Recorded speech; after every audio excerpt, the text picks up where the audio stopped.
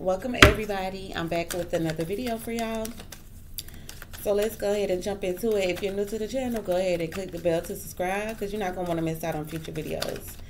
As well as for those who have um, look at this. This just jumped out of this deck. Okay so this is giving very much so divine feminine energy. Okay so this is definitely for the divine feminine. All right so we got you love uh, love yourself first okay? So that jumped all right? That jumped. You deserve love. Okay so i feel like there's some red flags that you may have noticed when dealing with a situation. I feel like you put your guard completely up until you until you got to know this person. I feel like you're getting to know somebody while you're taking time to love yourself. You're putting yourself first because you know what you deserve, okay? So maybe this past situation that you could have been dealing with, it has taught you how to listen to your intuition and know when to put your guard up and when it's okay for you to let your guard down. You're getting to know somebody fully before you, you know, you're taking your time getting to know somebody. You're not rushing. Okay, yep, you're calling in your soulmate. And look at this soulmate. Okay, now this soulmate is going to come after you've been in an unrequited situation. Okay, so after you've been in an unrequited situation with someone, your soulmate,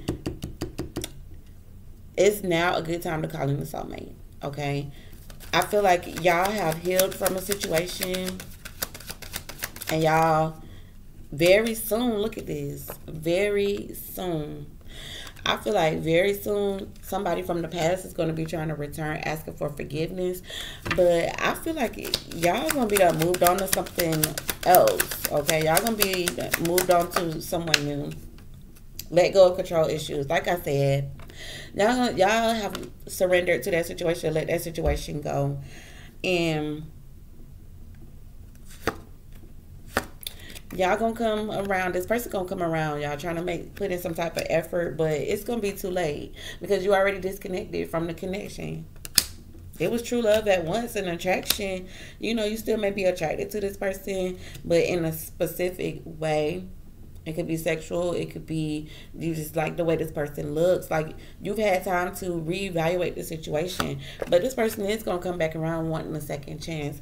But i feel like y'all got y'all got um a new start.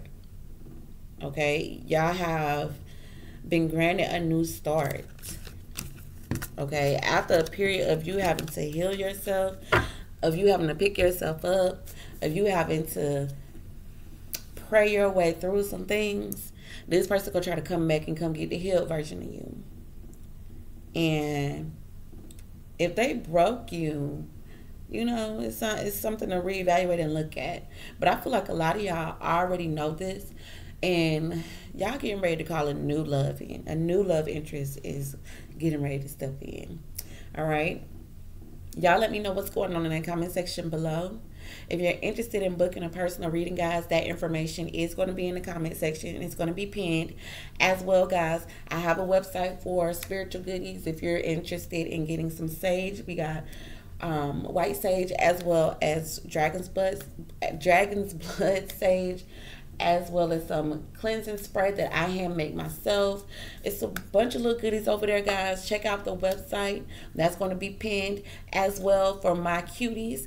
Um, I have a lash website that I have launched past couple of weeks and it's been doing really really great i want to give you guys a 10% discount off Okay, use code MOCA, M O C A, at checkout. That's going to be pinned down in the comment section as well. All right, until next time, guys. Ciao.